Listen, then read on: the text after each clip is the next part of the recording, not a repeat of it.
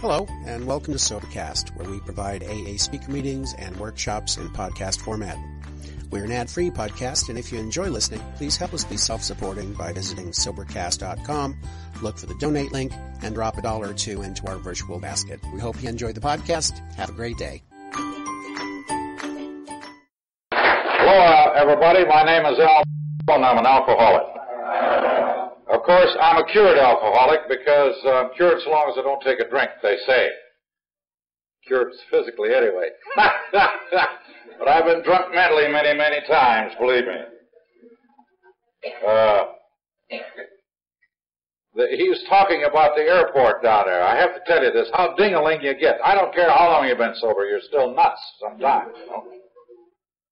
But uh, I'm very sophisticated. I ride the planes a lot, you know, and uh, I don't worry about whether I'm going to get on at the right time. So the only plane I could get up here was left at 8.50 this morning down there. 8.45, I'm sorry. And then the only one I can go back on from here is that damn United uh, Airlines. I was going to say United Artists. uh, at uh, 8.50 in the morning. So I'm kind of cussing in my beer. I said, boy, this is rough. Uh, I have to get up so early to go up there. So I got out to the airport. And they, they have a new port, you know. It's, uh, United Airlines has built their own building, and it's quite a ways away from the old airport now. But uh, I got out there all right, and they have big TV screens that tell you the changes and the number of the plane and the changes in time and one thing. Another look at it, it says 8:45. It said 9 o'clock. So I went up to gate 78 and I sat down, got myself a magazine and the morning paper, had breakfast, sat down and uh, 9 o'clock and then I look up at the board again, it says 9.10. Well, 9.10. So I said, well, this damn plane's never going to get out of here, you know. So then I look at the board again, it's 9.20. And uh, then the last time I looked at the board, it was 9.40. So I'm sitting there reading the paper and I figured, well, it'll go out about maybe 10 or 10.30. No use getting excited. About 9.50, I looked up there and the plane isn't on the board anymore, so I went over to gate 78 and I said, uh, when does this damn 372 leave? He says, well, it left 10 minutes ago. He said, so I call up downstairs now. They got it fixed up there. They have white telephones you can get information on all around the place. So I picked up a white telephone and I said, I missed my plane. I'm sitting right here. Nobody announced the plane. He says, we announced it three times. I'm sorry. So I said, well, uh, what'll I do? And he says, well, there's a Pacific Airlines goes to Monterey. It's just a few miles from there. Maybe you can make arrangements on that. So I have to get a cab again and I have to go over to Pacific and then I sit there until 1220. Anyway, I'm a dingaling. I admit it. I know it. and I call up my wife and I says, she says, well, what are you calling me from Salinas for? I says, honey, I'm still at the airport.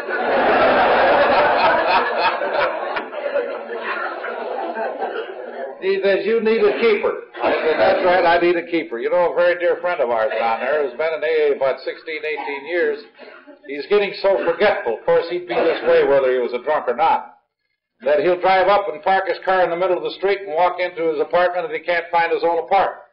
Of course, now they have him in a hospital. He's an actor, and uh, actors are a little nuts too, you know. but uh, she says, "Well, you're getting as bad as Frank." I says, "I'm worse than Frank. They're going to put me in hospital when I get back." But it's a nice story. There's a lot of laughs now, but I was mad then. I was very angry. Lost my serenity and my humility went right out the window. You know what I had left of it like the story that I was telling at a last group I spoke at about a week ago, and I forgot the punchline. You know, it's it's funny to tell a story and get there, and I says, "My God, I forgot the punchline," and I got a better laugh out of that than I ever did when I remember the punchline. this fellow was uh, the sort of a guy that would get drunk and he'd go out on the highway and and drive like crazy. He was an electrician at one of the studios down there, and he was around these people all the time. He went out this particular night and he's going about 90, 100 miles an hour out on the highway and he comes to a fast curve and he doesn't make the curve and he went over the hill and he rolled over about six times and he ended up on his wheels. Lucky, like all alcoholics, eh? And uh, didn't get hurt a bit. And he got out of the car and he was standing leaning against the car, kind of weaving around and here come a highway cop come along and he put his flashlight on his face, looked at him in a minute and he says, my God, man, you're drunk. He says, Why, certainly I'm drunk. Do you think I'm a stunt man? you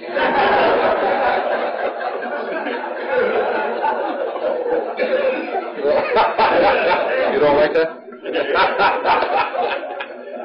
I think that's a very good joke.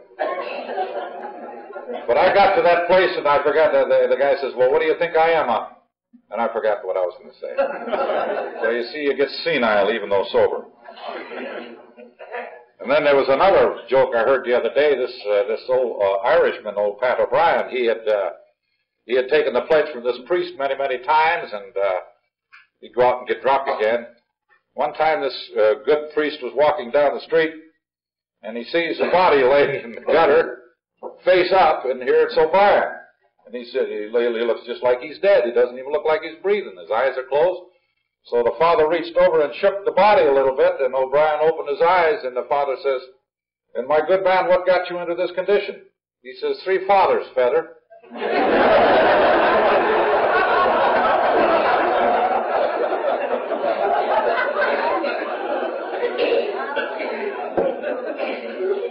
That's an old one, but I like it.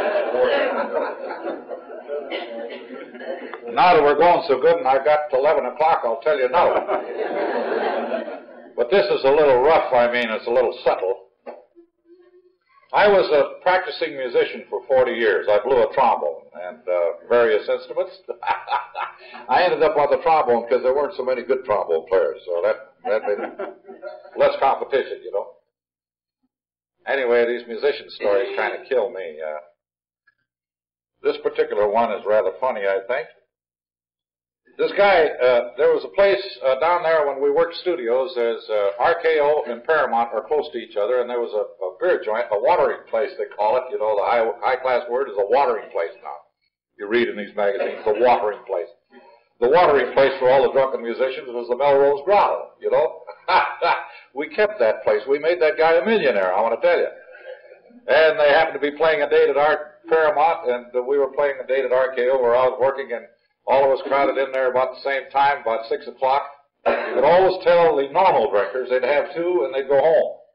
But the rest of us didn't go home. We had two, and then we stayed and forgot to eat, and we'd get kicked out at 2 o'clock in the morning even during Prohibition.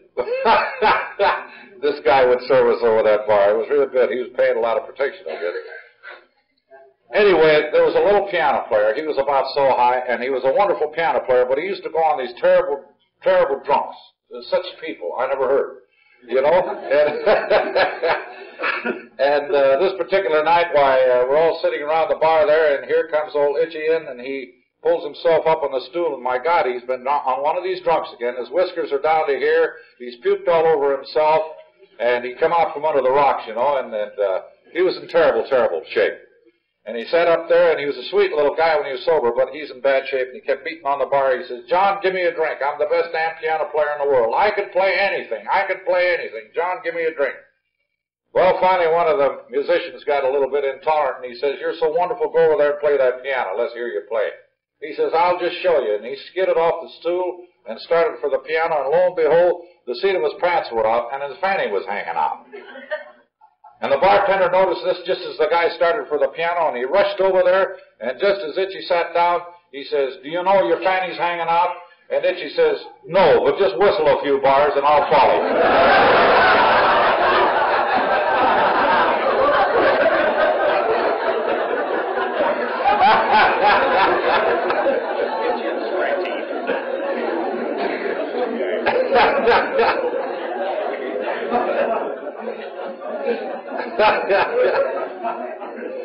That's the damnedest I ever heard that one, right? yeah. Well, we can go on and on. I was thinking a lot of funny stories today, and you know, there's so many people take this AA. I mean, we're serious about Alcoholics Anonymous. All of us are. If we aren't serious, we aren't going to stay sober. And uh, AA is no place for a guy who hasn't made up his mind that they want to stay sober. I don't like to say in the old days, but when I came in in 41, I was asked, do you want to stay sober on an all-time basis? And I said, yeah. He says, okay, sit down. If you don't want to stay sober on an all-time basis and you got an idea here in the back of your head that you want to drink again, get the hell out of here. And come back when you can qualify. He says the door will be open and you can come back. But we don't want to waste time on people who haven't made the decision that they want to stay sober. If you just want to want to stay sober, go ahead and get out. Because we've got a lot of calls to make, we've got a lot of people to try to help, and we don't want somebody that isn't serious about this thing. And, and you know, the average in those days was way above what it is now, because it was real tough. I never heard in those days we stay sober on a day-to-day basis, but my God, if it keeps you sober, that's great. I never heard of that until I'd been sober at least five years. There were a lot of things that I didn't hear in those days. We never gave away cakes for birthdays in those days. In fact, there's mostly all of down south. I don't know how you are up here. There's a lot of things that have come into AA since that time. I don't know whether it's good or not, whether it's bad. If standing on your head for an hour from 12 to 1 every noon keeps you sober, that's the place for you. If that is going to do the job, that is the deal. And that is the estimation of everybody in AA naturally. Whatever helps you and keeps you sober, that's the thing. But this is a serious proposition. But as I say, I like a lot of laughs. I cried, and I puked, and I prayed, and I laid in bed and killed, and, well, damn near died many, many times. I never went to a sanitarium in my life, thank God, because I think it drove me into AA a lot faster. If I could have found a way to get over that hangover easier, I wouldn't have come in when I did at the age of 38. I know that very well. In fact, I was so naive about this thing, I didn't even know that you could go to a doctor and get a shot. I thought that this was standard equipment, that everybody practically died getting over a two or three or four week drunk. In fact, it was many years before I went on that long a drunk. And that was good. I'm not putting myself up on a pedestal as being the ideal by a long ways. But I got it the hard way and it was the best thing for me. Unfortunately, a lot of people die before they do give up and say, I would rather be sober than anything else in the world. And my idea of drunks were people down on Skid Row. When I got on a bender, I stayed as far away from Skid Row as possible for fear I would end up down on Skid Row, which I would have eventually, there's no doubt. But do you know that just 3% of the alcoholics are on Skid Row? The rest of us are from the Skid Row on up. And we have less success with the boys in Skid Row than we do with any other department of the human race. The idea of the public in general is that uh, if you're an alcoholic, it's a nasty word, and you're laying down there behind a signboard, which is very, very silly. But I like lots of laughs. I don't believe in going around with my head between my knees and saying, "Oh my God, thank you! Oh my God, thank you! Oh my God, thank you!" I can thank, thank God by helping other people. I think more than any other way in the world. And I have so many people, and you have so many people. Of course, I've been around a long time, and I know an awful lot of people in AA. And this is my life. This is my avocation. I made it, made up my mind when I came into AA that if I was ever called on at any time to do anything, if it was humanly possible, I would do it, so long as it wouldn't injure my health, and that is running out and talking every night, which I don't do anymore. Once a week is it, because I'm getting old. My God, 38. You see, I'm 59 now. but crazy as ever. It does make it. I have a ball all the time. So my life is in AA, outside of my business and putting hamburger on the table, which is the most important so long as I'm sober. From there on, it's Alcoholics Anonymous. My wife just mentioned the other night, she says, you know, we ought to go down and see My Fair Lady or some of these wonderful shows. I says, well, I've been saying that for the last five years, but you say, well, let's go to an AA meeting instead. I want to see so-and-so. So she's just as nuts as I am about this business, you see. it's a crazy business. I have people call me up and say, I had a slip. I said, what do you call me for? Well, I thought maybe you could help. I said, what help can I give you? You know as much about us AA as I do. Well, I haven't been along, around as long as you have. I says, if you've been around two weeks, you know just as much about AA as I do. There's no secrets in this thing. You got the book, that's where I got it. You go to meetings, that's where I got it. You talk to people, that's where I got it. So there isn't anything that I can do for you. Why should I come over to hold your head while you puke? You can go get a nurse to do that, you know. and it's the truth. So they'll say, well, I'll tell you, I, uh, I didn't get, uh, uh, I'll say, well, what do you think made you get drunk? It's always something different, but they always come back to uh, two, one of two things. They say, uh, Al, I didn't get the spiritual side of the program. Well, now here's something that's uh, sort of controversial. Which side is the spiritual side? what is the spiritual side? Well, they had no answer. I say, well, what is the spiritual side of the program that you didn't get? Well, God. I says, well, what's God got to do with this? I mean, God is spiritual, that's true. But uh, did you ever stop to consider the whole program? Isn't that spiritual? Yes, by golly, come to come to think of it as spiritual. I say anything that is positive and that does you good and helps you and makes you happy, therefore making everybody around you happy, must be a spiritual thing. Yeah. Well, now where's the side of the deal? Well, I, I, I have become an agnostic. This comes back at you every once in a while. Well, it says keep an open mind. Is that going to worry you? No. I know guys in AA, I know one fellow in particular. Four years he was around here. Four years. He wouldn't recite the Lord's Prayer. He was an atheist, and he was an honest atheist, and I admired him for it. And he could argue me into the corner anytime he wanted to about uh, about the religion or God or anything like that, and I'd say, "Well, I have faith. That's as far as I can go with you."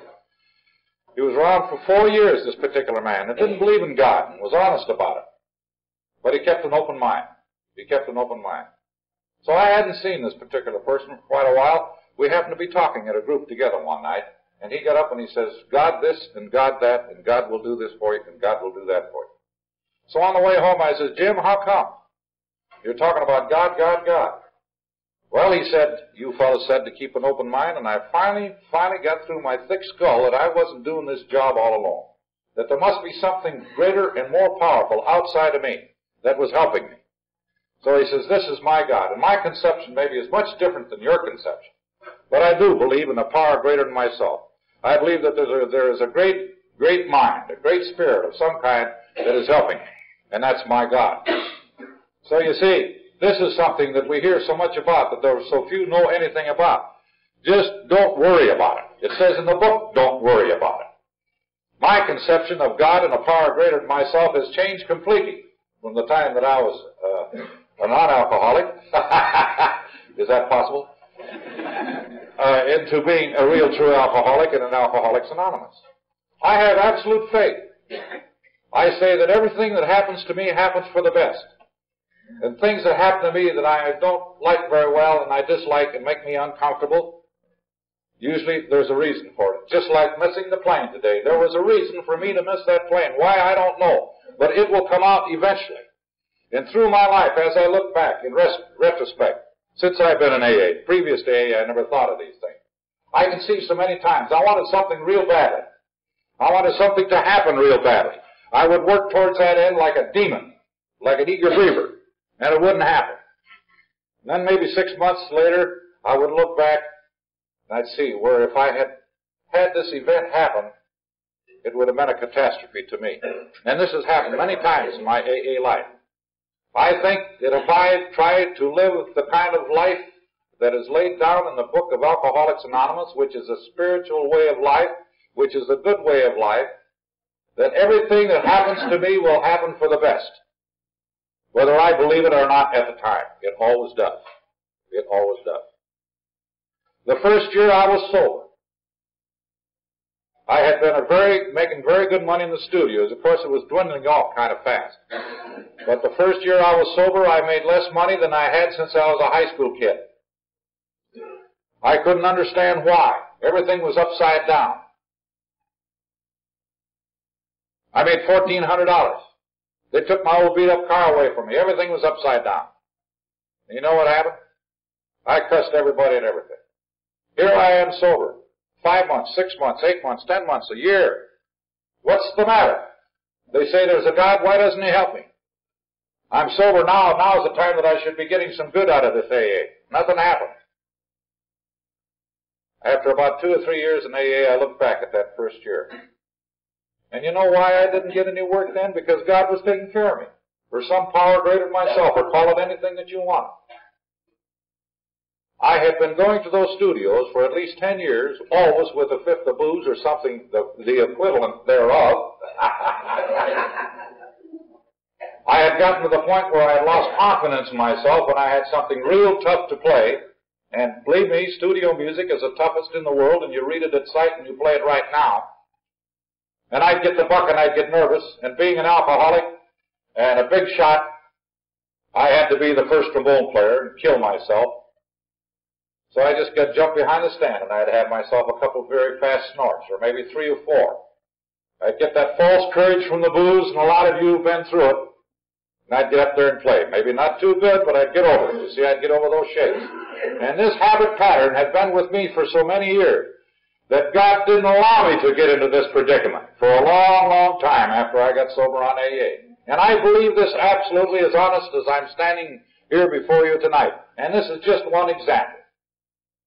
If I do the best I, I can with all the honesty that I can muster to live this kind of a life and be as honest and true and treat others like I want to be treated and practice these steps of Alcoholics Anonymous as they're laid down here, no harm can come. This I absolutely believe. I kicked around an awful lot after I got into AA. This job and that wild job, of course, music was always in the background. And it hasn't been to the last three years financially that I have been able to really get rolling financially. But I always said, as I have told many of my friends personally, I said, don't worry, you are going to have everything happen to you that is for good. You'll get everything in this life that you deserve if you just try to live this kind of life. And it works out. It works out beautifully. Now this disease of alcoholism, and let's get down to this disease. I know that many times I'm very boring when I talk. But there's only one way that I can talk. I don't give an awful lot of my own life's history because what the, who wants that? Well, that's it, you know. We're all a bunch of drunks, some worse and some better. And our experiences are practically the same. And I can stand up here and give you a blow by blow description, but what good is it going to do you or me? I think the best thing that I can do with you and me is tell you how I think I am trying to stay sober. Which I believe honestly that this is the way I am trying to stay sober and is working for me. And when I hear you talk, if you will get up here and say, I am trying to stay sober this way, this way, and this way, you are going to do me a lot of good because I'll learn something from you and maybe cast away an idea that I had and grab your conception. And this is the way it works. We're all different kind of people. We're all different kind of drunks. We all think different. But honesty is something that is exactly the same for all of us. The foundation, the basis of Alcoholics Anonymous. But this disease is made up of an allergy of the body coupled with an obsession of the mind. And this is as true as I'm standing here also. Whether you develop the allergy, or whatever happens, I know it isn't the excess use of booze that causes the allergy. It just so happens that 4% of the people in the world will become allergic to alcohol if they drink at all. I know guys that are half pinters, you know. Ha, ha, ha. Why, not enough to put in my hollow tooth and they become alcoholics from drinking a half a pint a day or something like that. Well, they're, they're, they're physically, they become allergic, or they have a biological or a chemical change, just like you and me have had, whereby they're unable to catalyze alcohol, and this is something that is the incurable part of the program. When Bill says in the book Alcoholics Anonymous, we have crossed a line whereby we will never be able to return to normal drinking or happy drinking again, I believe it's this line where we have this physical change which is biological or chemical. And the doctor told me it's an amazing thing, but you alcoholics don't even absorb alcohol into your tissues like so-called normal people. I said, why? He says, no one knows. Why does a person become a diabetic? well, nobody knows. They still haven't got the cure for it. You take the insulin, which is not a cure. As soon as you take the insulin away, why, the person goes into a coma if they eat any, anything at all. And the same is very true of the of alcoholism and the alcoholic body. We don't catalyze alcohol like normal people. Therefore, it stays in our bloodstream, it hits our brain, and we become real dingling. The change, the change in personality. How many times have you been told, man, you're like a Jekyll and Hyde? you're a SB when you get drunk. You're terrible, you know. you're a swell guy when you're sober, but boy, when you're drunk, oh man, I don't want to be around you. I've gotten that so many times. On the other side of the picture is this obsession. How this thing develops, it develops faster with some or less faster with others.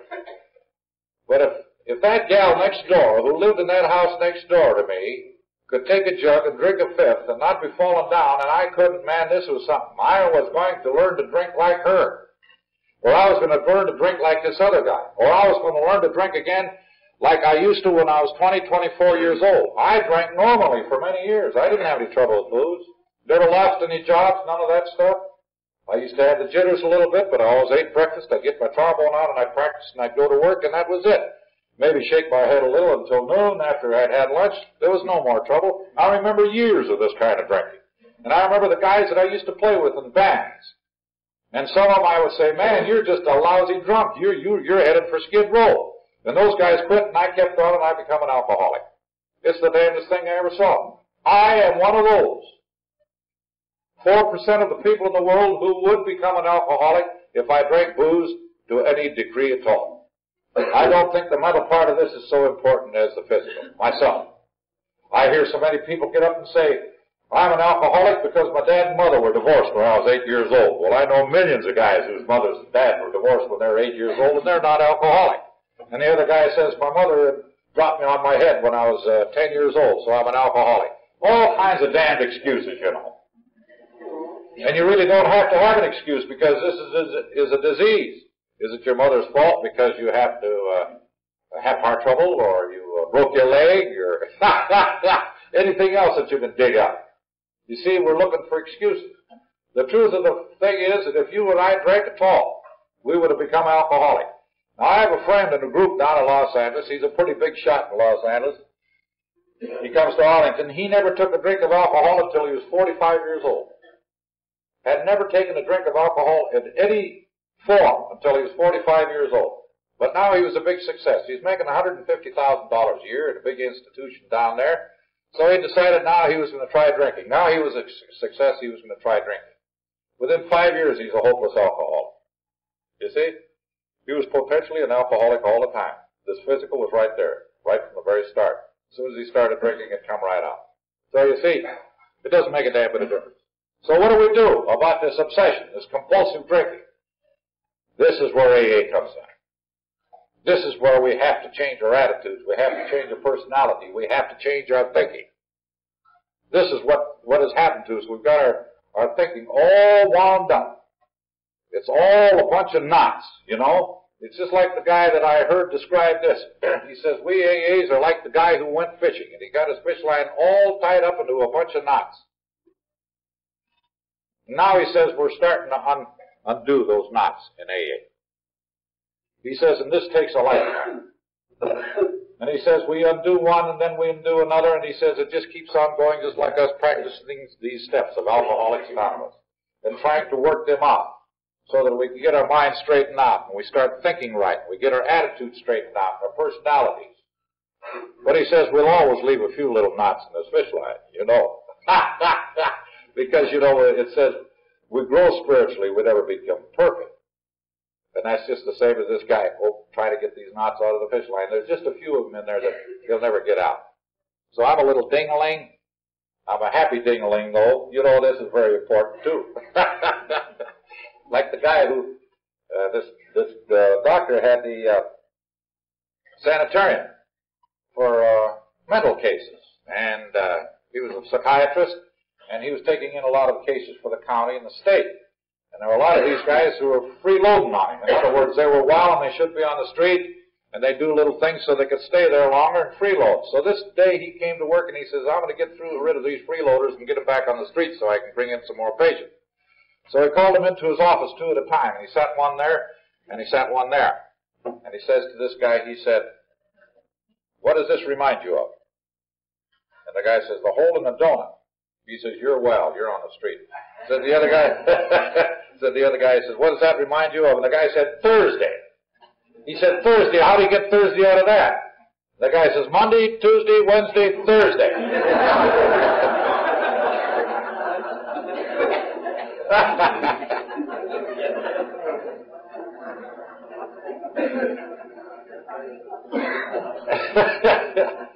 I got a lot more of those. and then there, there's uh, these obsessions, the obsession to drink, the compulsion to drink. Uh, who knows how this thing developed? I know with me, I, I remember back when I used to go on, on jazz band I was working with, especially this, this brings me back to Chicago. We used to have a party about every month, the whole band together. We used to get drunk as lords and we, uh, someone would be fined if they got, come late to work and all. We'd take all this fine money we'd put it in one little bundle and we'd buy ourselves a, a joint for the night and we'd have a ball and everybody get drunk. And I remember that the guys would tell me the next day when I'd come to work, and this hadn't happened before, they said, boy, did you make an ass of yourself last night. Well, now to most people this wouldn't bother them a great deal, but we alcoholics, there's something about us, we are much more sensitive than most people. Now you can call this good or you can call it bad, but we are. And things hurt us. We might not say anything about it. And that old man remorse would set in. And I'd get to worrying about, well, what did I do last night that was so terrible? And now I'll try to think of what happened last night, and there was a blackout in there somewhere along the line. And then I remembered when I got up in the morning, I went and looked out of the window to see if my car was parked in front of my apartment or not. This is not normal. This is very abnormal. This is bad drinking. This is alcoholism. This is what it is. When we start getting to that point where we can't remember what we did, or where we were last night, or how we got home, we've got troubles. Unless we can quit drinking right now, we've got trouble. Because if we continue at all, we're going to, it's going to get worse. It never gets better. It never gets better if we keep on. So this is what happened. And then I used to get so damn remorseful about these things and so worried, I'd have to go and have a couple snorts to kind of escape from this, you know, the old escape process that we all went through. And then this thing got worse, so when I had a few snorts, then I got just as drunk that day. Maybe not as drunk, but I'd be drunk during the day. That night I'd go on another real bad one. And this continued, and these things went on and on and on and on. To the point where when anything would happen, which would get me emotionally upset to any degree at all, and don't forget we become very emotionally unstable, I had to have a drink. I had to have a drink. I would become so emotionally upset and so uncomfortable that it was actually physical pain. And I know that you went through the same thing. Maybe you never thought of it in this light, but I did. It was actually physical pain, and the only way that I could get rid of this pain was to have myself a snort.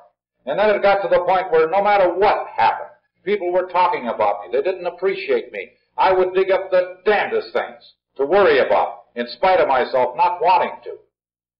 And I don't know, we have an ability to magnify nothing into something better than any class of people in the world, and we are a class of people. Something would happen. Maybe I had a date, maybe I was working at a certain studio, and I taught a great deal. I taught at the Los Angeles Conservatory down there, which is not too important to you, but to me it was. And I had some very wonderful students, and I gave them everything I had, and I worked real hard with them, and I made a lot of money on them, I can't deny that. And here I one day, one of my students has taken my place at one of my first call studios. What's the matter? I knew what the matter was down deep in my heart. I hadn't been putting out a good job for somebody. One of the leaders there told me, Al, he says, the most dependable thing about you is your independability. and this would say, I'd say, well, the guy's a good trombone player. I, I can say with pride that I've taught him to play. He's a wonderful musician.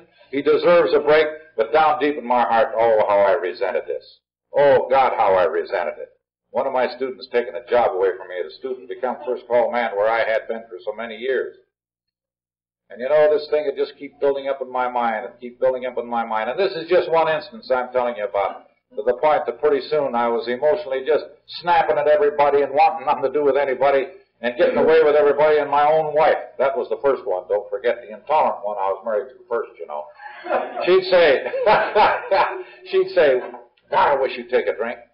And here I was on the wagon, you see.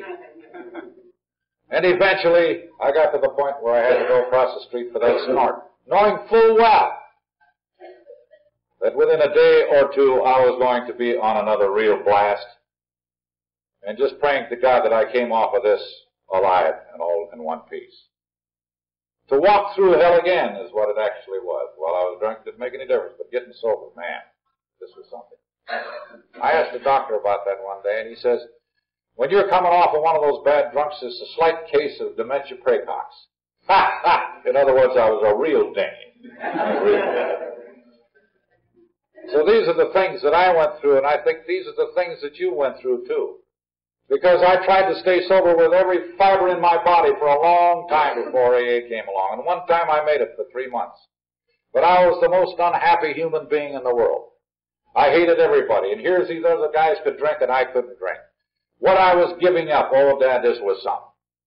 I was giving up the very, well, life itself and all the laughs that I would ever have again when I gave up booze.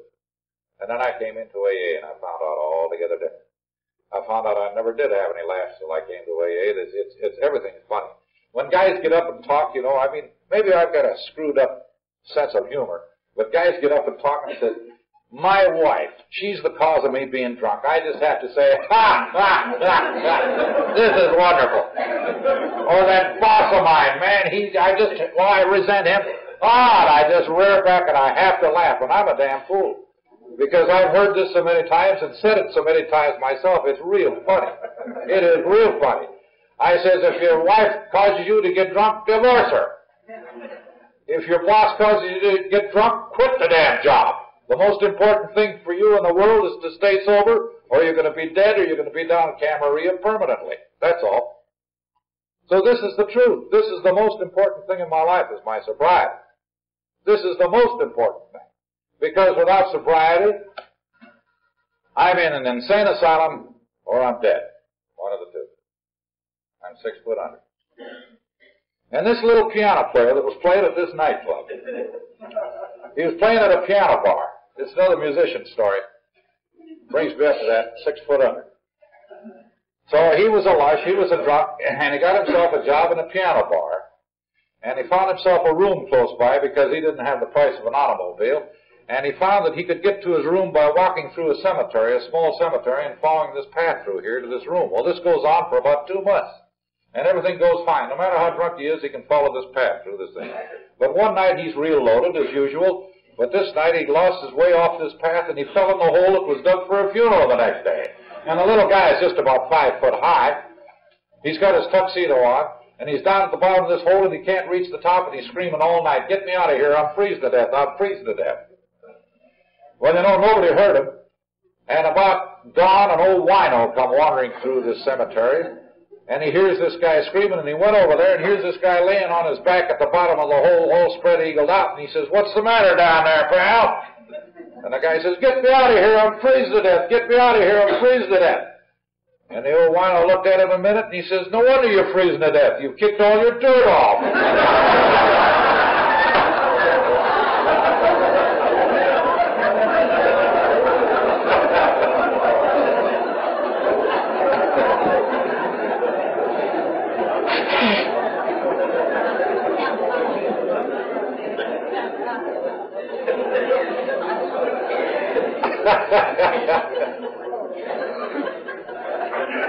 You know, I used to I used to live across the street from a drunk.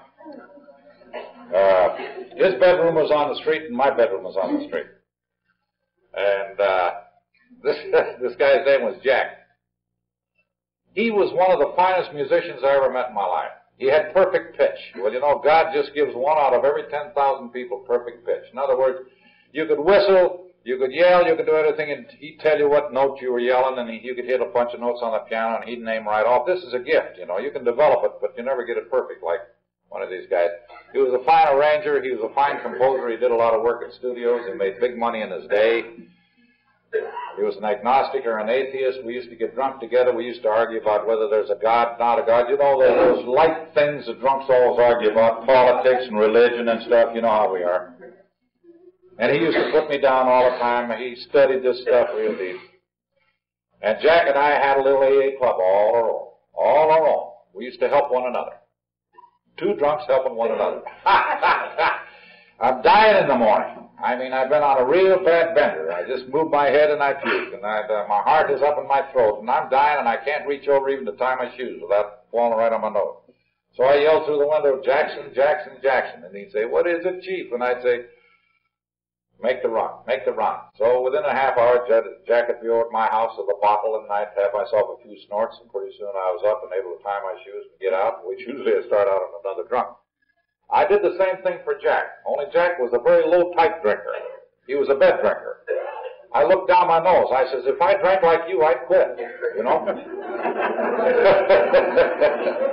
He'd yell, Chief, Chief, Chief, and I'd say, what is it? He'd make the run. So I'd go get him a jug and beg for steel, and I'd get it over to him. But he was a very odd drinker. I'd always have to grab the dish pan when I went through the kitchen so he could puke, you know. He'd puke, puke all the time. And, uh, but he'd stay in bed. As long as he had a jug, or as long as he could keep knocked out, he'd stay in bed, put the curtains down, you know. I mean, this is real, this is real crazy drinking. and I'd say, Jack, this is no way to drink. He says, well, he says, uh, I don't get pinched as often as you do.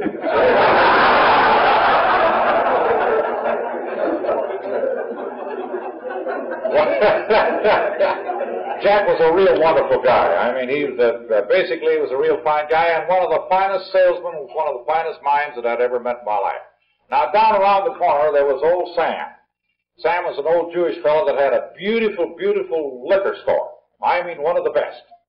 And Sam was a real guy. He'd put you on the cuff once in a while, once in a while. And uh, old Jack, he was such a salesman that he got Sam up to $500 that he owed him. Now, this is over a matter of years. So this particular day, Jack wants a jug real bad, and I'm dying for a drink. So he says, "Let's go down and see old Sam." And I says, "You old poor old Sam, five hundred bucks now, Jack. You got no chance." He says, "Let's take a whirl at it. It ain't gonna cost nothing." so we went down, and he said, "Sam, I want a fifth of old Granddad, whatever it was." And uh, Sam says, "Money?" He says, "No." He says, "Oh, you put this on the cuff, Sam."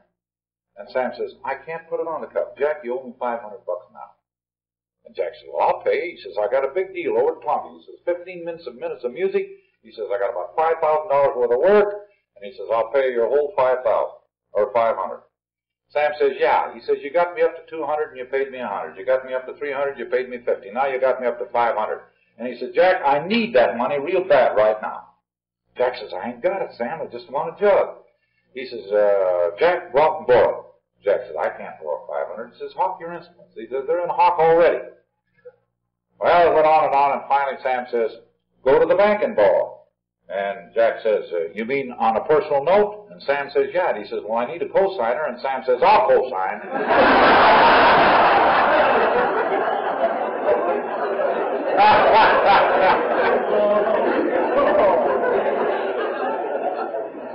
so we got our job. Sam paid back $500 12 equal monthly payments, 6% interest. so you can see how I admired this fellow Jack. He was the greatest. Uh, bring him up a little later. Anyway, I come from a family of 10 kids. I'm the only alcoholic in the bunch. The only one. Now, some people say we were raised on the same wrong diet. You know, we were all raised on the same diet. Had, they say you were, had the wrong environment. That's the reason you're an alcoholic. We all had the same environment. We all went to the same schools and had the same teachers from the first grade on up. And I'm the only alcoholic in the whole crowd. It's strange, you know, my brother says, Marino, you just don't have the willpower. My own brother says, you haven't got the willpower. Isn't it strange? They, they'll never get it in their stupid heads that I'm, I'm allergic to alcohol. Well, anyway, I, uh, I tried the cure. That's the puking cure, you know. Now, any of you who have never tried it, don't. there really ought to be a law against it. When I say that, I mean it. I'm serious about it. Although I'm laughing, I'm serious about it because I just puked for four days and four nights. they give you all the booze you want to drink, and then they shoot that apomorphine in your chest, which makes you sick, and you're supposed to believe it's the booze that makes you vomit, and then you just puke. And then they give you those real high animals, and I mean high animals. Too long. And then they give you the sweat pills, and you perspire right through the mattress. Well, one guy was in the same room with me, died. He died of a heart attack. I said, isn't this something though? You know, here I am puking and the guy's dying. and it cost $150, which I never got quite all of it paid in. And after I got out of that after four days and four nights, the guy says, don't drink anymore. Don't ever take a drink. I says, is that all you got to say? He says, yeah. Well, I says, when I get this apomorphine out of my system, I'll be able to drink again. He says, well, that isn't it. I said, this is fine for kids, but it's not fine for an old billiard drinker like me. When I got out, I saw a friend of mine, and he says, you know what they did to you down there? And I says, no. He says, they put you through the ringer and hung you up on the line and charged you $150 more. so it's just no good. All of these things are no good. It all has to be up here. We have to make up our minds. We have to do something about all these things. So, then I took psychiatric treatment. Now, I had a ding-a-ling musician friend from Chicago who was going to a psychiatrist because he went nuts on booze. And they let him out of this nut house in New York, and he had an insurance policy whereby he got a hundred dollars a week as long as he was incapable of holding a job.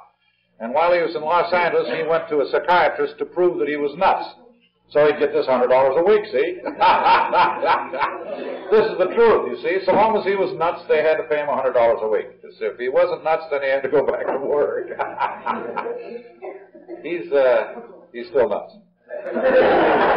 but uh he told me about this guy, and I was having a lot of trouble with my booze, and he knew it. He's a real fine guy. So I went to this fellow, and he didn't speak good English, so he was a good psychiatrist. You speak broken English, why, then you're a better psychiatrist.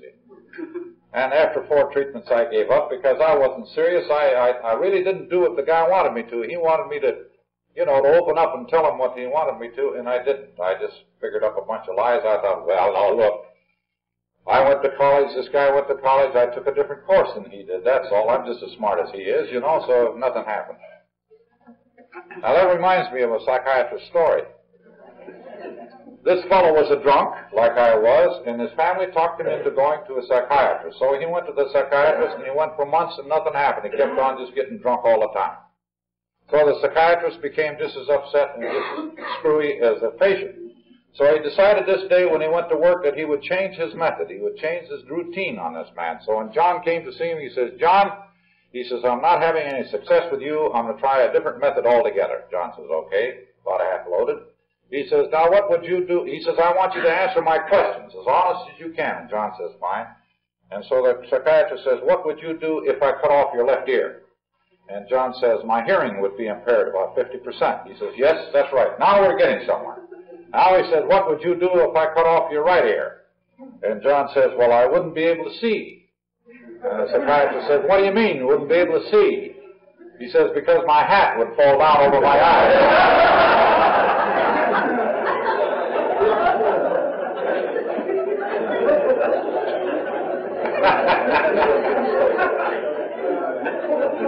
Some of you have heard that before.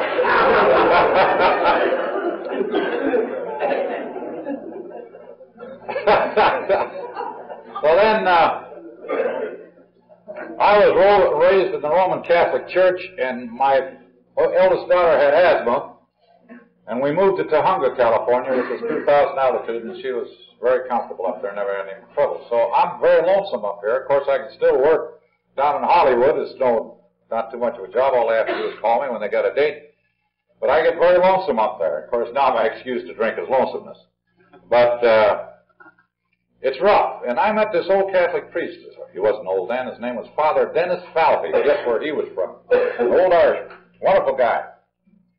He needed a choir, so I went down. I put in a lot of time. I helped get a choir together. I helped direct the choir, and and uh, you know, in spurts. I did the prayer for a couple of weeks, but usually trying to help with this thing. We became very, very dear friends. He never said boo to me about my drinking. He never bawled me out once. I'd go to him sometimes after a good blast, and that red-headed wife of mine who would never let me have a buck when I was dying. Uh, I'd have to go to Father and I'd say, Father, loan me five dollars. Uh, I'm dying, you know. I'd say, please loan me the sweat rolling down and the beard out there here. He couldn't guess what was the trouble. And he'd say, here, my boy. And he says, don't spend it all in one place. He didn't say, why don't you go to church? Why don't you do this? No, none of that business. He was a very smart man. Very tolerant man, I must say. So in this particular time, I had a terrible happenstance. Oh, I'll tell you about it. I'll run a little over, huh? There, I'll run a little over. We have a lot of fun anyway. But this is one of the little ding-a-ling things I did. I mean, I don't talk about my history or my drinking or anything, but this is one maybe that will give you an idea how a nutty alcoholic can do, you know. I had been sober three months. Everything is fine. I bought a new car. I've got lots of work at the studios. Everything's going along fine. Christmas is coming along. I had two daughters then, and uh, now I got three of them. They're all married. I got eight grandchildren. My God, when they bring them over the house, boy, this is something.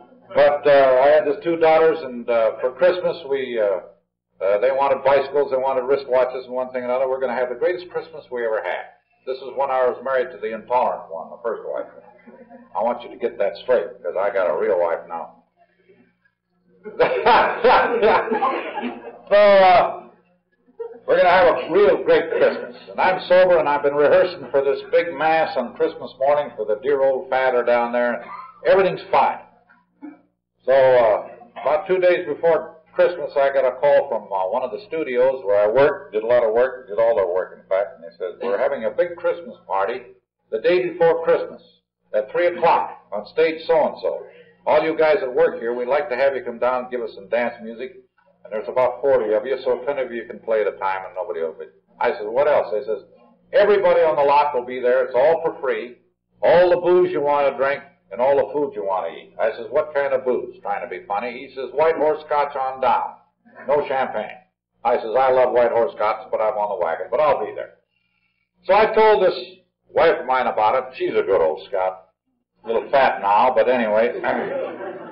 I told her about this and, uh, I'm going out the door with a trombone under my arm about 2 o'clock. Start down the hill, and she says, Don't drink over two scotch and sodas. And I says, What do you mean, don't drink two scotch and sodas? I'm on a wagon. What do you bring that up for? What are you even reminding me about it for that they're having scotch and sodas? She says, Well, you can take two or three, but you can't take any more. And she says, I know you. I've been married to you for many years. I says, That's just it. You're always bringing up these things. You want me to get drunk, don't you? And the big beef starts right there. Ha, ha, ha. Boy, the excuse is right there in my hands. She wants to start an argument. So I go down the hill and I keep saying to myself, no, I can't drink. I know I can. The, the first one's the one that always gets me drunk, and I kept saying that to myself. Well, she's been married to me for a good many years, and she ought to know how much I can drink. You know? Maybe she knows better than me. Then I said, no, this is crazy thinking. So I went up and I did my bit with a little band, and I look over at the food bar, all the squares are over there. I look over at the liquor bar, all my pals are over there at the liquor bar. All that booze on top of the bar. White horse scotch on down. A mix, the ice cubes, the whole business. And I look over there for a minute, and then I see old Joe. I hadn't seen him for, oh, God knows how long, you know, and I like this guy very much. Maybe I hadn't seen him for a week. I said, Joe, how are you? He says, fine, I'll get up here and dip your beak, Dad. It's all for free, all you want to drink. I says, no, no, I'm on a wagon. He says, it's a hell of a time to go on the wagon with all this good booze. And then somebody else come up that I hadn't seen for a long time. You know what happened? I said, well, I don't care if I do. So I had one. When I got out of jail, New Year, uh, Christmas night, about 9.30, this is jumping a little bit, but the car's all smashed up. I'm in jail all that night and all Christmas Day. I, without a doubt, am the most unhappy human being that God put on earth. If they'd have given me a gun, I'd have shot myself. The lawyer even got down there, put her a day late. I said, where were you? He says, well, I was drunk and I had to sober up or they'd have put me in with you. so I go home, put up the bail, of course. The lawyer put up the bail. I didn't have any dough. And I go home, and uh, the next day I went down to see Father Falvey, and I said, Father, I'm going to take the pledge, I guess. I said, what'd you tell him when I didn't show up? And he says, oh, I lied to him. I said, what'd you tell him? He says, I told him you were down working on a picture. They had to get it out real quick, and you had to work Christmas. He says, uh, you were in jail, weren't you? And I says, yeah. He says, well, I guessed it. But he says, I lied to him, just told him that you were down there. I said, well, I guess I'd better take the pledge. He said, what do you mean? The pledge not to drink? And I said, yeah. And he says, oh, you can take it if you want it, but it won't do you any good. I said, what do you mean it won't do me any good? I'm just as smart as these other people. I got just as much faith as he said, oh, that's all fine, but you're, you're a drunk. He says, I can't describe it, but you're, you're one of those guys. And he says, I, I've known a lot of guys like you in my lifetime. And I says, well, well what's going to happen to me? He says, I don't know. You're just going to die a drunk. That's about the only thing I can tell you, unless something happens along the way. I said, do you know any guys like me that ever got sober? And he says, yes, a couple. I said, how? He says, I don't know. But I do know one thing, that something happened to them where they had a complete change of attitudes. They had a complete change of personality. And he says, they never took another drink and they were wonderful people. I says, well, what made them have this change of attitudes and the change of personality? This is way back in 1936. He says, I don't know. I wish I did. He says, I don't know where they are. Or I tell you. Well, I says, I'll be darned. I says, what's going to happen to me? He says, I don't know. I just hope to God that something happens to you where you have this complete change of attitude, complete change of personality. He didn't say, you, you're, you're a sinner. Oh, this is another thing I asked him. He said, uh, it's not a sin to drink, but it's a sin to be a glutton. And that's as far as I can take it. You never had any idea that it was a moral vice to drink, which it isn't. If you're, if it's normal for you, 96% of the people can drink and don't have a bit of trouble. But he said you have to have a change of attitude, you have to have a change of personality. When I came into my first meeting in Alcoholics Anonymous in 1941, that's the first thing I heard. And here this father was telling me that away back in 1936, but how? AA had the how. He didn't have the all. By this time, I'm living in a $2 a week room. Things are real rough. All my friends have left me. My family doesn't write to me anymore. I went through the whole thing like a lot of the rest of you did. A lot of you guys still got your wives and your bank accounts and your, and your jobs. You're just that much better off. But God bless you for getting into AA before you went as far as I did. It was up here. I could take care of the physical sickness, but this up here, this remorse, this something, this is killing me. I couldn't take that. That was awful. Just fighting, fighting, fighting every minute of the day. Keep away from that first drink. It just don't work out. This willpower won't do it for you. It's like telling the TB not to cough. His willpower will stop him from coughing. That's about as sensible as it is to talk, tell an alcoholic not to take that first drink. It's terrible. It's awful. So the last time I got out of jail for drunk driving, they said I was parked and passed out behind the wheel. Ha, ha, ha. Twice. I was drunk driving. I wasn't even driving. Hell, I was passed out. Laying over the wheel and the horn blowing. They don't like this. Keeps people awake. And the motor running. So I did a little time down there for Biscailuz, the sheriff. And I swore to God that if I ever took another drink and I got drunk, I was going to keep right on drinking until I died. I was never going to get sober again. I was going to kill myself drinking. Well, something came up after about eight weeks after I was out of that pokey and I started it. And uh, unfortunately, I had charge accounts at a lot of bars. Being a studio man, I'd always make it in big bunches and then I'd go pay all those bills off first, you see. Ha, ha, ha. And then the other ones would come afterwards. I always wanted to have that ace in the hole where I could drink. This drunk was the worst I've ever been on in my life, like all the last drunks were. They get progressively worse. I was passed out by noon every day. Started sleeping with my clothes on. The whole routine, no food, no nothing. My girlfriend, who is now my wife, uh, tried to feed me. I wouldn't have anything to do with anybody. While I was on this bender, my old friend Jack called me up. And I was able to stagger to the phone and he said, Hey, he said, have you seen the Saturday Evening Post this week? And I said, how could I see the Saturday Evening Post this week? Well, he says, I read about a group of people in New York called Alcoholics Anonymous. I said, what about them? He says, I don't know. I'm drunk and I can't, my eyes won't focus worth a damn. But he says, I see a picture of a guy looking at a guy lying in bed. And he says, most likely this guy's brought him some booze. And he says, one drunk helps another, just like you and I used to do. Exactly. I says, no kidding. And he said, yeah. And he said, this guy is lying in bed, and he says, as I get it, and all I can read, he said, when that guy is well and this other fellow needs a jug, he goes and helps him. And he says, they've always got another guy to help them off these bad drunks, and he said, there's a hundred of them in this day. It's like a daisy chain. They're always helping one another. I says, my God, I didn't know there was such a thing in the world. And he says, yep, it's right here in the Saturday Evening Post. This was the first week of March of 1941. So I said, well, I'll have to, I'll have to get the magazine, and I got down to the corner and got the magazine without getting pinched. I couldn't read it. In fact, I wasn't even using glasses to read with then. So I threw it aside, and a few weeks later, I got another call from Jack. He says, I found this thing called Alcoholics Anonymous. I said, no. He said, yeah. I says, how did you find it? He says, I was down to the liquor store cuffing for a jug of wine, and one of the local drunks came in there and paid part of his bill. He says, I immediately got him by the arm, took him outside, and said, look, you're going to spoil it for us guys got no dough by paying this bill. By oh.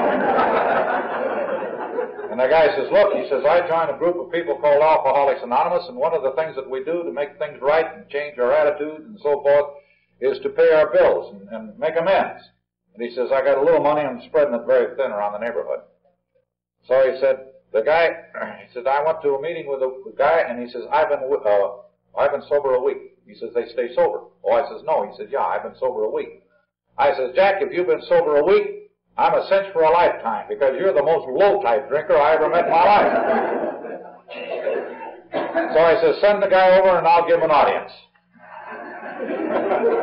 And he says, no, you have to call him yourself. And that's a good thing too. So I called him myself. And he says, I'll be over tomorrow afternoon. I says, don't you come over afternoon because I'll be passed out by 12 noon. He says, given orders yet. I says, I'm just telling you, you don't know who I am. I'm possibly one of the greatest trombone players that ever walked this earth. And if I join your club, I'm sure adding a lot of prestige to it. Now you get over here before noon tomorrow. The damn fool wouldn't believe me. He came in the afternoon and I was passed out. And this goes on for days. He never gets over there in the morning. So finally he told the landlady, he says, when this guy gets sober for a couple of days, tell him to call me. And finally I, through, I, I got sober enough so I could call him. I says, okay. He says, Wednesday night I'll be there. I said, okay. So he came over. He talked to me for two hours and it was just a lot of blah, blah, blah, blah, blah. I, I couldn't get it out. I didn't like the guy anyway. I asked him questions he couldn't answer. So he says, we're meeting at, on 6th Street, a so-and-so address. He says, I'll pick you up Friday night. We have one meeting a week in Los Angeles. I said, don't bother, I haven't decided to join your club yet. I'll put this, I'll think this over, and uh, I'll be down if I want. So I asked Celia, my girlfriend, I says, let's go down and look it over. She said, fine. So we drove down. Well, the guy was up there, he was quoting from the Bible and giving us a lot of the, that yak. I've been all through this. This didn't get me sober, see? So I turned to the guy sitting next to me and I says, this is like the Main Street mission down there. All I need is sawdust on the floor and we're right down on Main Street at one of those missions. I'm going home. And here I am dictating already and I'm shaking like an aspen leaf in the wind. I gotta, I gotta just flown out of the window. I was shaking so bad. He says, are you an alcoholic? And I said, yeah. He says, you stay for the rest of this meeting and come back to at least eight meetings and then decide whether you think this is for you or not. He says, this guy up in front's just like a preacher I admit. But he said, we have different speakers every Friday night and you'll learn something. And these, all these guys around here are drunks. And I said, ah, they can't be drunks. They got ties on. They got their wristwatches and stuff. They can't be drunk. He says, yes, they are. And they're a lot worse than you, most likely. So I says, I'll just prove to you that this thing doesn't work. So I stayed. And I come back the next Friday. And I come back the next Friday. And I don't know why, but I'm staying sober. And I'm getting acquainted with these guys, and they're nice fellows. Not even musicians they aren't, but they're nice guys anyway. and I think it's the first time I ever associated with a bunch of guys that weren't musicians. And I find out that people make livings in different walks of life, and it seems to be exciting to them. Nothing could be exciting to me but music. And then the leader of the group, his name was Frank Rattle at that time, he used to get up and he'd just practically spit in your face, you know.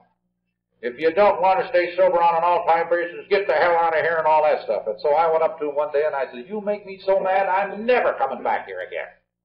I says, I couldn't stand the insults that you throw at us. And he reared back and he laughed and he says, but you're thinking, aren't you? but you're thinking, aren't you? I says, yeah. Well, he says, get as mad as you want to, but just keep thinking, and you won't get drunk. Ha, ha, ha. You know, I'll never forget that. I know a lot of guys that I talk to, newcomers, that I say things, I, I maybe hurt their feelings and makes them mad, but by God, they stay sober. They're starting to think again, you see. Well, anyway, after about six months of this, and I'm not getting any work, and they, I'm supposed to be getting that alimony to my ex-wife, which she isn't getting, and, and the sheriff's assistant coming down and said, get the alimony to your wife, or we'll put you on the county road building project, you know, all those things. Well, there's a lot of guys on that that aren't paying alimony. So I went to the same Frank Randall and I said, uh, Frank, do you know anybody in the music business? He said, no, why? I said, I need a job real bad, and I thought you might have an angle. He says, my boy, this is not an employment agency. This is a place to stay sober. He says, now what's your number one problem? Well, I said, alcohol is my number one problem. He says, okay, take care of your number one problem and everything else will take care of itself when it's supposed to. He says, you might not get a job for five years the way you kick these people around, but you'll eat and you'll have a roof over your head. And he says, from now on until you're six foot under, worry about one thing. Your number one problem. That's all you have to worry about. And everything else will come out just fine. And he says, you got the road map. He says, there's the book of the 12 steps. He says, live. That's all you have to do. Even to this day, I never forget that. Every day this comes into my mind. I haven't got any problem. I may think that some problem is real, real rough. I'm in the selling business now. I sell big businesses. They're getting big now. They weren't, they weren't for a hell of a long time. But, uh, you know, you, you work your head off at a deal maybe for one month, two months, three months. It means a lot of money to you, and it falls flat on its face. And I don't care who you are. There's always a certain amount of that letdown. Oh, God. How hard I worked on this deal. You start feeling sorry for yourself. You start going through this old alcoholic thinking. But if you jack yourself up and say, geez, I haven't got any problems. I just got one problem. I got enough to put hamburger on the table for a while. I got enough to pay my bills for a while. This is supposed to be this way. And invariably, it is this way. I had a guy come into my office about three months ago who I had done a favor for about three years ago. It cost me a lot of money.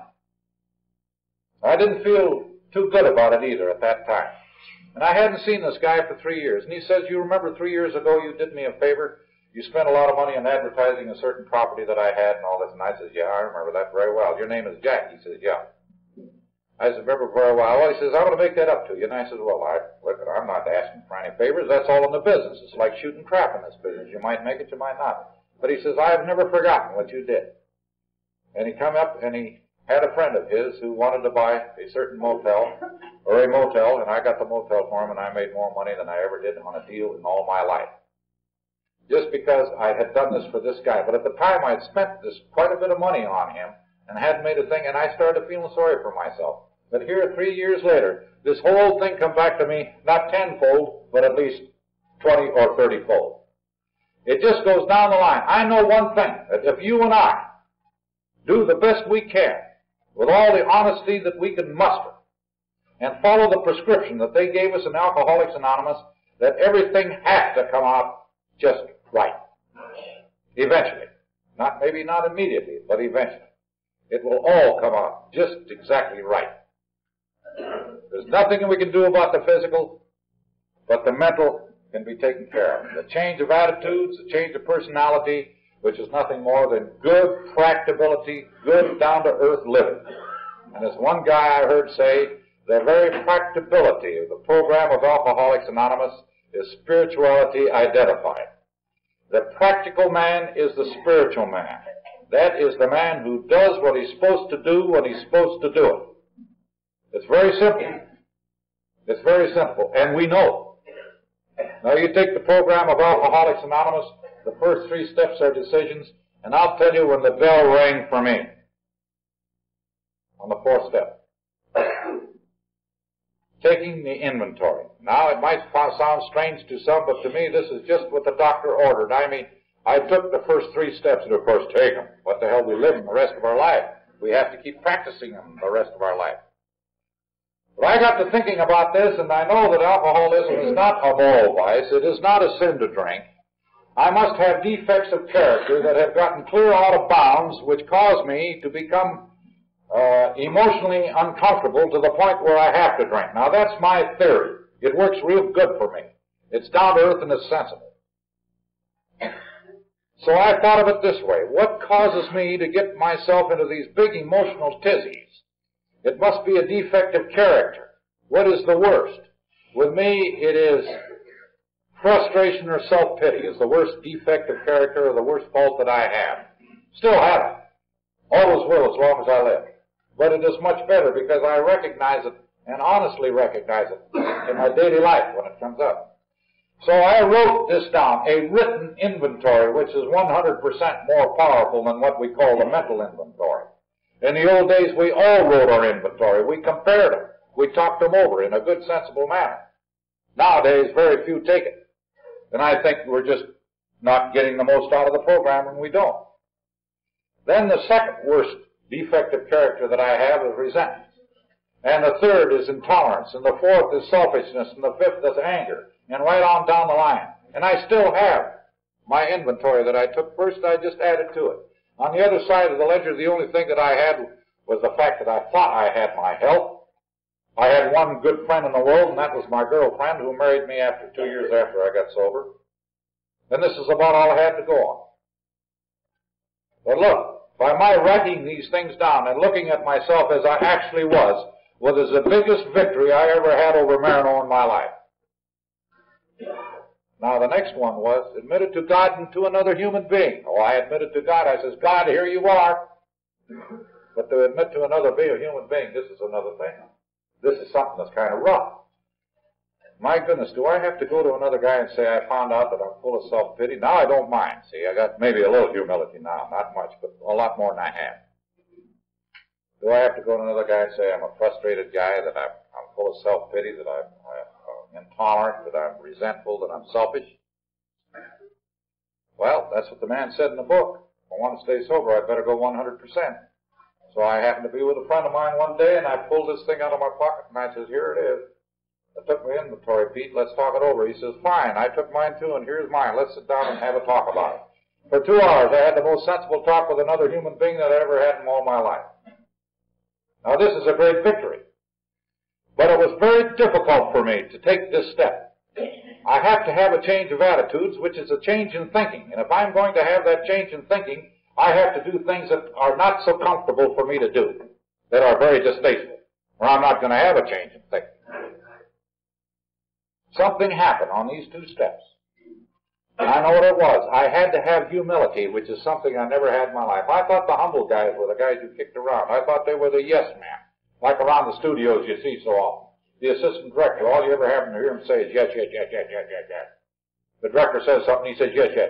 There was a guy standing on the corner of Hollywood and Vine one day, and he was standing up there shaking his head and saying, no, no, no, no. And the cop says, come up to him and says, what's the matter with you? He says, I'm a, an assistant director on vacation. but that's what I thought about it. And then when you stop to think, the greatest people in the world were also the most humble. And this is something we have to have, some humility. Or we're not going to get sober. Jesus Christ, the image of humility. Abraham Lincoln, humility. George Washington, humility. Einstein, humility. You can just go on and on and on. Any great man that you could name was also a very humble man. And here I am, a good for nothing lush, trying to be a big shot. And then we get down to the step on, on making, making amends. This is a real tough one for me. I don't know about you. So I did. It's quite a story. I'm running out of time, but I mean, I went around and made amends personally, and oh God, this was a hard job for me. The worst things first, the worst ones first, the ones that bothered me the most. And then the one on taking a daily inventory. It's not a daily inventory with me. It's an inventory every day. It's an inventory every hour. Because I still have this thing, these demons rise like self-pity, resentment, intolerance, selfishness, and all the rest of them. They still arise in my daily life. And it's a strange thing how fast we can recognize them if we're honest. If we're honest. And the 12th step having had a spiritual awakening as a result of these steps. Now, many of us think that the spiritual awakening is the flashing of lights and the ringing of bells. No, no, no, no. Read Appendix 2 of the big book. Bill explains that the spiritual awakening is a change of attitudes and a change of personality. It's exactly what we're talking about. That is the spiritual awakening. Once in a great while, you'll find a man who has a spiritual awakening overnight. But this is the exception to the rule. It's a change. It's a growth. It's something that happens to you or me, makes better people out of us, and makes us much happier. And I found out in this program of Alcoholics Anonymous that if I did the steps and worked the steps the hardest, the ones that I disliked the most, it was going to do me the most good. So the first, second, and third were difficult. From the fourth on, the taking of the daily, the taking of the inventory, the talking the inventory over with another human being, the making amends, the admitting I was wrong, and the 12 step, these are the ones that did me the most good. The ones that I dislike to do the most. How am I going to have a change of attitudes? How am I going to have a change of personality? How am I going to have a change in my thinking unless I do things that I dislike to do? So here it is, laid out for me. And you know, this is of utmost importance. Now you take the 12 step. I think I can work the 12 step and help my fellow suffering alcoholic better by number one, staying sober as a living example that this program works, and by two, attending meetings. Attending meetings is as important to me as the insulin shots is to the man who has diabetes. We don't get any diplomas in Alcoholics Anonymous. This is an all-time job. I will give you instance after instance of people who are sober 16 and 17 and 18 years. One of them just died. Hadn't been to a meeting for five years. One of them is in San Quentin for life. Hadn't been to a meeting for six years. Why? Because their thinking went right back home again blue. This is just as important to me as the man with, with diabetes and is taking his insulin, these meetings. Of utmost importance. This is group therapy. This is just as important as any other part of AA, maybe more important. I go to a meeting every Thursday night for my own group down there. Because I've seen these other old pals of mine just fall by the wayside. They don't, not all of them, but a few of them. And if I can uh, profit by their mistakes, I'm going to do it. And I say the third best way for me to work the 12 step is by actually going out and helping that man who wants help. Not the slipper, but the guy who is there already, who really wants AA. I can't help the slipper at all because he knows as much about AA as I do. All I can do is hold his head while he pukes. And I don't like to do that. I did a lot of it. I might puke on you. so here I am. The best years of my life I've been sober. Thank God in Alcoholics Anonymous because God gave us AA. God is all and all is God. And when God appointed a guy by the name of Bill Wilson, he knew just who he was appointing. And Bill carried on. God's behind everything. Everything I do in my life, the plan is laid out, I believe. Maybe I'm a fatalist. But I think everything that happens to me happens for the best. If I take care of my part of the job, God will take care of the rest. I know that. So here I am, 20 years, 121 years now sober. Everything I have in the world I owe to Alcoholics Anonymous. Serenity, peace of mind, certain amount of humility, all of these things, not 100%. Anytime a guy puts you on cloud 99 and says everything's going to be uh, ice cream and roses because you're sober, they're nuts. They're just lying because they don't know. But it's going to be so much better than what you're used to that you just can't believe it. But we're just human beings. That's all we are. We're just human beings. And we will still have our headaches and our heartaches. But we have to surmount these things without getting drunk and getting ourselves into a big stew. This is the answer to our problem. This is everything to us in this world if we want to live. I would say a normal life, no, much better than a normal life, because we've been through the hell, now we can really enjoy it on the other side. The thousands of friends that I have in the world, I owe to Alcoholics Anonymous the wonderful health that I have, everything, my very life, my sanity, I owe to Alcoholics Anonymous. And you are Alcoholics Anonymous, and I want to thank all of you for everything I have in this world. Thank you.